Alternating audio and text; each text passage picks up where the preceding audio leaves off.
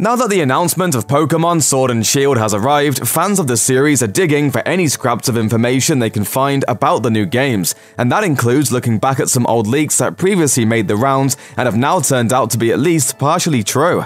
In particular, a leak that was published on the website 4chan is now getting a second look from series fans now that the first trailer for the new games is out in the wild. Turns out this unconfirmed post seems to have gotten a lot of information right, and if the leaker had their facts straight, it could point to a few of the legendary Pokemon we'll end up seeing in Sword and Shield later this year. According to Inverse, the since deleted 4chan post accurately listed the titles for the two games as Pokemon Sword and Pokemon Shield. The post also contended that the new region for both games would be based on Great Britain and would feature two legendary Pokemon, a metal snake and a wooden horse. The leak also teased the potential for a new type of evolution, called Armored Evolutions. It even named off a few Pokemon that could get the armored attributes, such as Charizard, Mewtwo, Flygon, and Zeraora. Finally, the leak very specifically mentioned the Pokemon Meltan, stating that the Steel-type Pokemon will play a role in both Armored Evolutions and the lore of legendary Pokemon. Wonderful, isn't it? I think we've made a new observation. Meltan will merge with each other until they evolve into Melmetal. It's a good thing you caught so many. So why should we believe this leak? Well, in some places, it appears that whoever made the post was right on the money. Not only were the titles of both games correct, but the game's new region, Galar, does seem to have some similarities to Great Britain,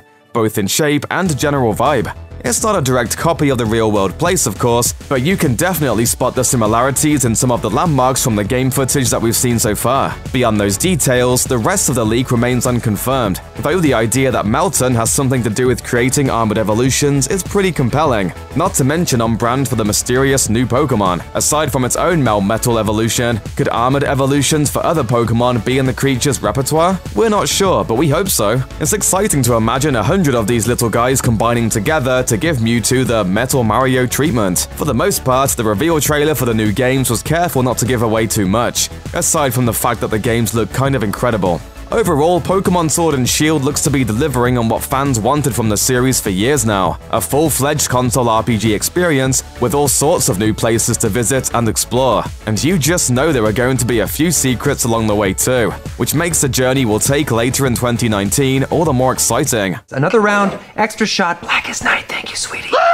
One exciting development for fans is that old-school Pokemon battles look to be making a return in Sword and Shield. After the more unorthodox titles of Pokemon Go, which took the series to mobile phones with a side of augmented reality, and Pokemon Let's Go, which toyed with motion controls, some gamers worried about the direction the series was taking. Would we ever get another mainline pair of games to sink our teeth into? Or was the series heading the way of Hey You Pikachu? Pikachu, dance! I can't take it anymore. Thankfully, everything we've seen of Sword and Shield so far indicates the series is staying the course beneath its graphical upgrade, keeping the fundamental gameplay for the 8th generation much the same as it's always been. But what about the Pokemon? The reveal trailer introduced us to the game's three starters, and players are already picking their favorites. Sobble, the water type, seems to be the runaway winner so far among fans, but you shouldn't sleep on the fire type Scorbunny or the grass type Grookey, at least not until we know how they play. Pokemon Sword and Pokemon Shield are set to release on the Nintendo Switch sometime in late 2019. Then you'll be able to catch them all, even the legendaries, no matter where you are.